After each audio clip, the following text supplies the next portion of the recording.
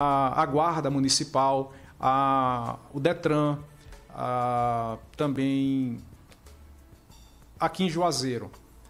a Secretaria de Ordem Pública, o Detran também daqui, a Polícia Rodoviária Estadual, todos se articulando para promover de forma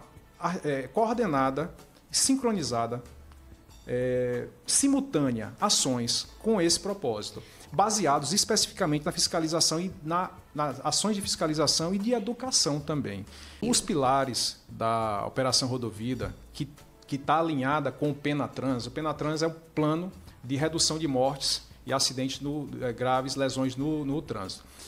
que já existe desde 2018 ele estabelece algumas linhas de, de procedimento, dentre os quais que são a fiscalização de excesso de velocidade, do não uso do cinto de segurança, da utilização do celular à condução,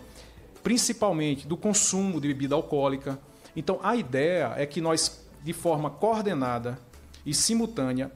adote ações direcionadas para isso. E toda abordagem da PRF, e assim, a liberdade de ação para cada instituição, dentro da sua circunscrição, da sua área de atuação, próximos muitas vezes, às vezes nem tão próximos, mas haver essa coordenação entre as instituições para direcionar essas fiscalizações e também ações de educação para o trânsito.